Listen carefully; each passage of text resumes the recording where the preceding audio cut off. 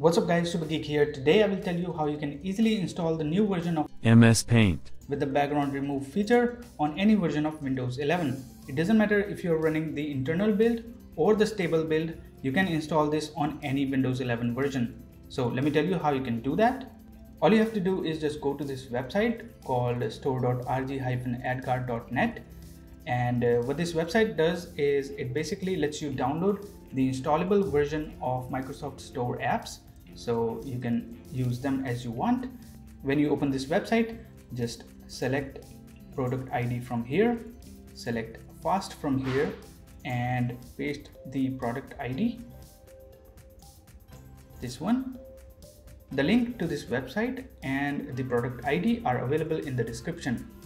So once you do all this, just click on check button and as you can see it shows up a list of installable files that you can download from this uh, website.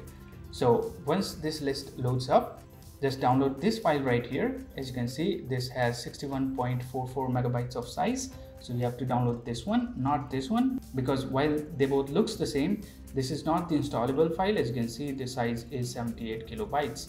So just click on it to download this file your browser may show this file as a malicious file, but don't worry, just click on keep, keep anyway, and the file will be downloaded. So once the file is downloaded, open the downloads folder, double click the installable file. And as you can see, I already have installed this. So it's showing me reinstall or launch. You will see an update button here. So just click on update button and the update will be installed on the Paint app. And once the app is updated, all you have to do is just search for paint and open paint from start menu. And as you can see this is the new version of ms paint with the layers feature see? So let me demonstrate you how you can remove backgrounds from different images using this ms paint. So all you have to do is just open a file. So i'm going to remove the background. Just click on background remove option and it will remove the background. It looks really good. So it did it really well. So let's do another image. So as you can see you can create new layers using this plus button.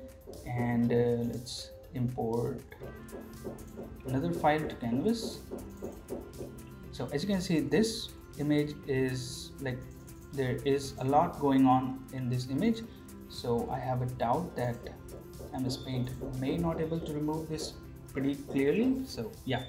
It cannot do really well on the objects unless the object is really distinguishable from the background so it can do it really well like in the case of the aeroplane. So let's do one more image to show you how well it does on human subjects. So open from file. So this is the image and I'm going to use background remover. So as you can see, it does a really good job on humans compared to objects. So that's it for today guys. Hope you liked the video. Hit the like button, get subscribed and I'll see you in the next one.